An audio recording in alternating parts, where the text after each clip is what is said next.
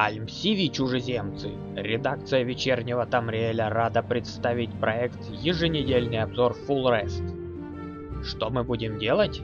Мы будем нести свет имперских истин в самые дальние уголки галактики. Теперь даже самые ленивые листатели ленты будут в курсе всего любопытного и занятного, что случается на просторах Full Rest, на форуме, а также и за пределами тематики сайта и форума.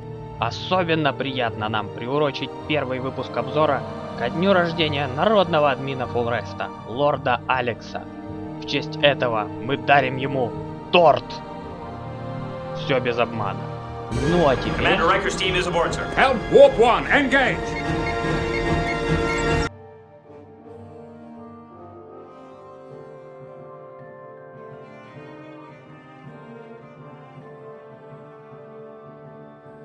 Основной темой этой недели, конечно, стал выход Hardfire.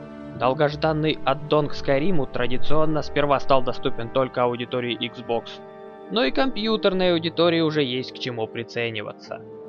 А чтоб процесс приценивания у вас прошел проще, вот какие материалы о последнем творении вашингтонцев посетили ленту. Первые оценки прессы, полученные Hardfire. Гайд по достижениям, привнесенным в дополнение. Гайд по усыновлению. И, конечно, гайд по выпечке. Медведи-музыканты тихо пробрались в земли нордов. Отчет о встречах с ними также несложно отыскать в ленте.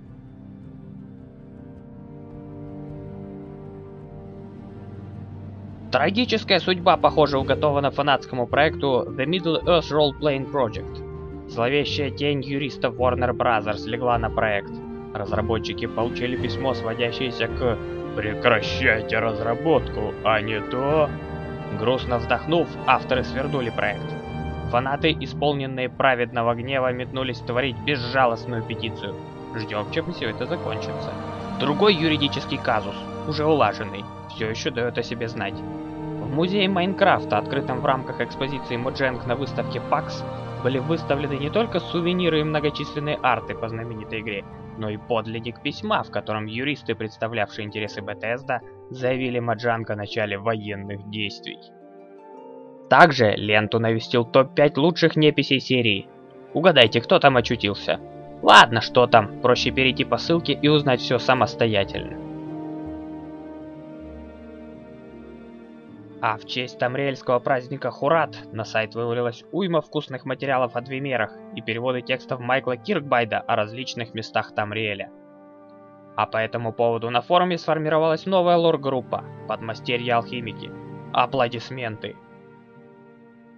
Ну а разработчики проекта OpenMV тоже не сидят без дела. Они усердно корпят над 18-м релизом нового движка для старого доброго Моровинда. Уже сейчас возможности впечатляют и внушают оптимизм, а усиливать это чувство намерен новый улучшенный ИИ, отвечающий за поведение неписей.